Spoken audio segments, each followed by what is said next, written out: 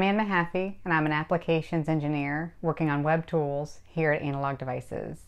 And in this video, I'm going to discuss um, what's going on when we've got our SAR ADC and our RC filter in our driver and we're seeing ringing, um, and, and some things that we can do to correct that.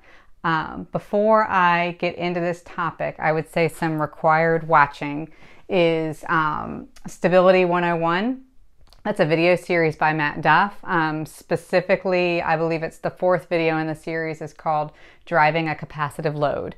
And that's really going to set us up um, for what we need to understand to, to, discuss this. And there's really no reason for me to um, rehash it. Matt does a very good job with this topic. Um, so at the end of that video, um, this is what he's got on the board for the most part. So I'm just going to kind of continue um, from, from where he left off.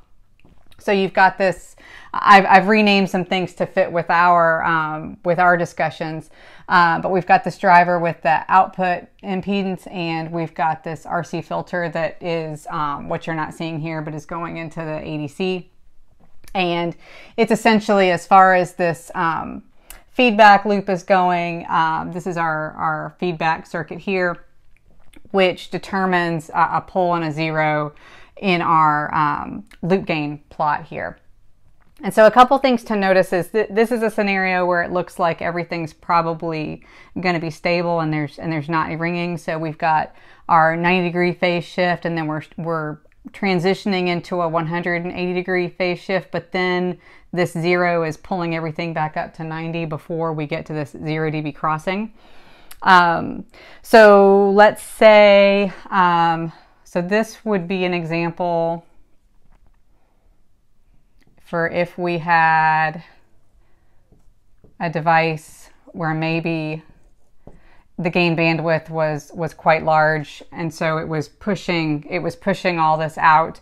Um, so so let's say you picked a device that had a, a smaller gain bandwidth. So let's say that it looked more like this.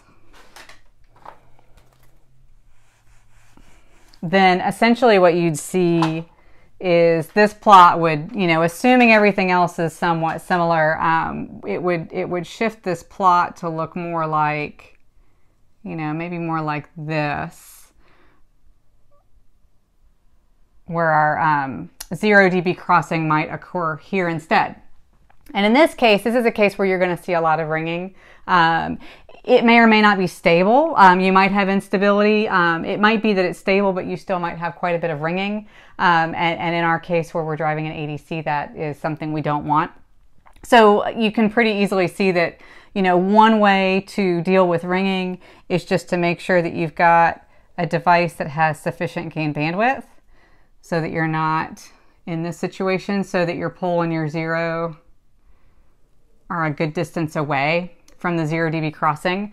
That's one thing. Um, another thing is uh, if you've selected a part that looks more like this, um, something you can do, uh, depending on your situation, is you can try to increase this resistor value. So if you increase the value of this uh, resistor, and then to keep the same bandwidth, you'd want to reduce the size of this. But if you do that, what you end up doing is you pull your pole and your zero together. And this is so essentially what we're doing is isolating the driver from the ADC. But in the terms of this plot, you'd actually, you might have your pole and your, or you will have your pole and your zero much closer together. And in that case, you might be able to get away with um, having that that phase returning back up to 90 degrees before you've you've hit the zero dB crossing. Um, so again, I, I, think a tool like LTspice or like the Precision ADC driver tool is a really good way to look at this. There's no need to plot all this out um, to determine, uh, you know, your design uh, requirements, but it's helpful to understand or to, to visualize in, in terms like this what's going on so that you understand um, how to fix it. Um, so I, I, hope this was helpful for understanding, at least understanding what's going on with ringing and, and maybe a couple of ways um, to reduce it.